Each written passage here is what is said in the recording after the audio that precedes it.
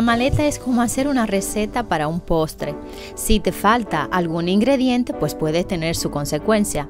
Lo primero que tienes que hacer es crear una checklist como para todos los imprescindibles y ya luego pues elige qué dejas y qué no.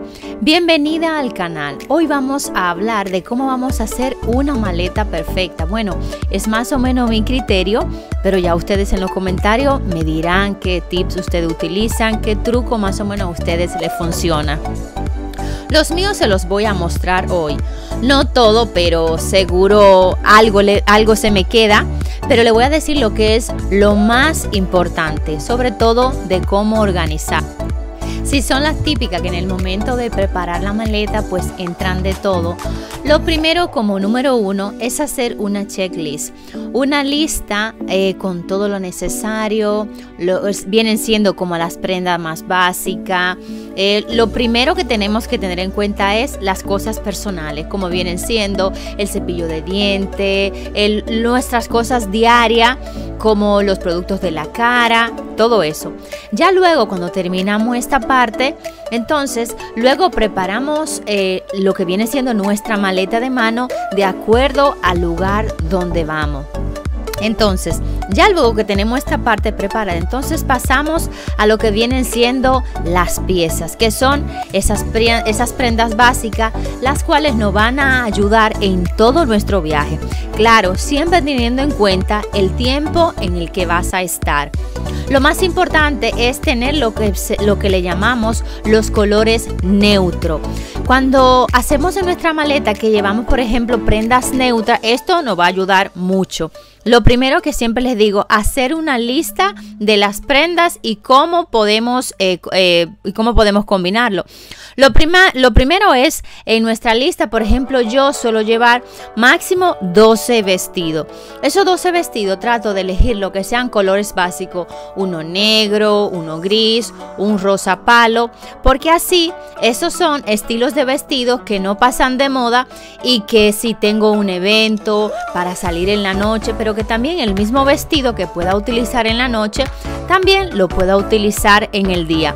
Estos son algunos ejemplos de cómo más o menos yo puedo crear mis looks. Cuando terminamos de anotar lo que vienen siendo nuestro vestido básico, en esta ocasión el vestido negro, el gris principalmente en satén, entonces ahora podemos pasar a lo que vienen siendo otras prendas que son estrella, que son los pantalones básicos, que en este caso viene siendo, está muy de moda el pantalón blanco, el lino, que es un clásico, como también podemos entrar en nuestra maleta el pantalón, ya viene siendo en un color eh, camel o en un color rosado, que están también de moda, el pantalón en satén.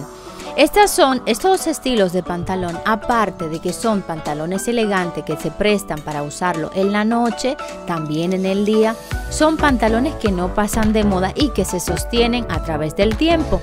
Entonces, este estilo de pantalón nos permite crear diferentes looks para elevarlo y al mismo tiempo para estar casual y para estar elegante y sobre todo este estilo de pantalón nos presentan esos estilos que son clásico y cómodo. Pasando lo que viene a lo que viene a ser las prendas de arriba como las blusas y los top, en las blusas no podemos llevar prácticamente esta blusa que se utilizan también como chaqueta y al mismo tiempo como blusa son como estos estas que son estilo kimono o podemos llevar una blusa a la cual le podemos dar doble utilidad que vienen siendo una camisa blanca que es un básico o una camisa blanca en el estilo satén. Pasando también a lo que vienen siendo las prendas que podemos utilizar para algo más casual y al mismo tiempo elegante y sexy, vienen siendo los tops. El top se puede utilizar, eh, podemos llevarnos el top marinero que está muy de moda, el top básico, un blanco, un negro, un gris o también podemos utilizar lo que vienen siendo las piezas statement. Recuerden que las piezas statement es como esa pieza estrella que es la que eleva tu look.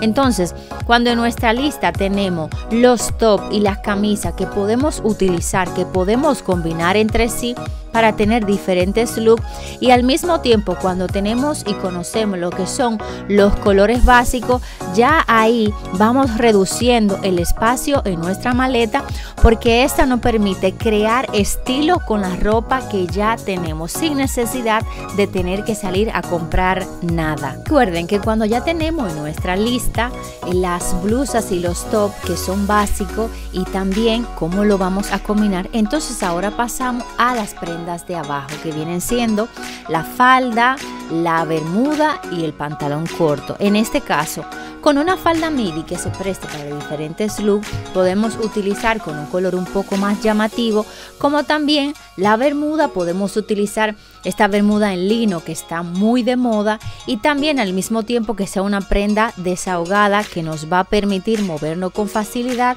y al mismo tiempo para ese momento que hace mucho calor vamos a estar cómoda.